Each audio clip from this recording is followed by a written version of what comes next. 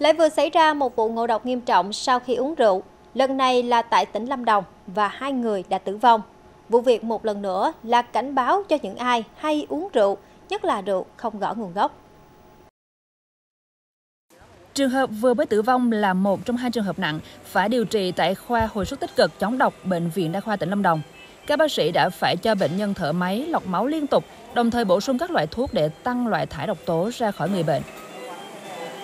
Khi vào đến khoa hồi sức thì bệnh nhân vào viện vào khoa tình trạng là hôn mê, à, thở ngáp, à, đồng tử giãn, à, phản xạ sáng kém, huyết áp tụt. À, xét nghiệm ra thì à, à, chức năng gan thận suy giảm, toàn chuyển hóa nặng, CT thì ghi nhận hình ảnh tổn thương não nặng nề, khả năng là ngộ độc rượu methanol. Tính từ đầu năm đến nay, khoa hồi sức tích cực chống độc của bệnh viện đã tiếp nhận 5 trường hợp ngộ độc nặng do uống rượu không rõ nguồn gốc và có 3 trường hợp tử vong.